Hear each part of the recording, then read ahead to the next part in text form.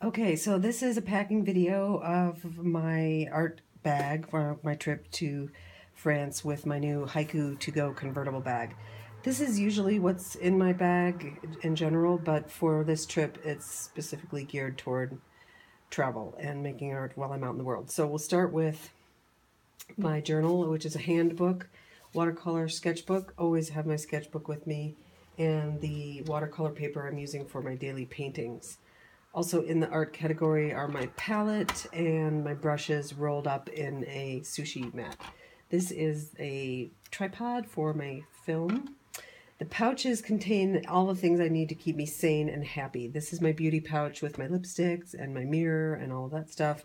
This is my health pouch with my digestives and my aspirin and all those kind of things.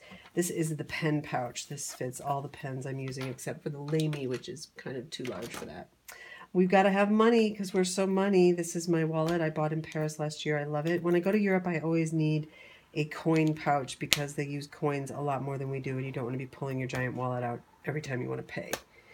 This is my Moleskine journal that I'll be writing my plans in and the passaporte my travel shrine, which goes everywhere with me, and a few miscellaneous things, some lip lube and wow mist, and I always travel with a kind bar and reading glasses so I can see what the heck is going on.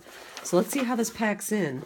What I love about this bag is that it fits the notebooks in there very easily in this outside pocket so they're not going to get damaged or anything like that.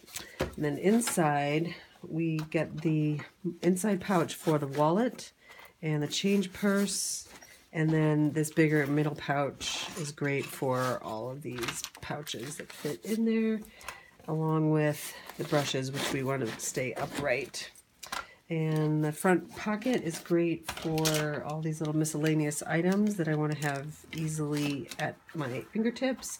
This was cool that the palette fits right in there.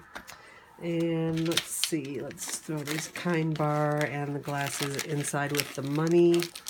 And the notebook will go in the back.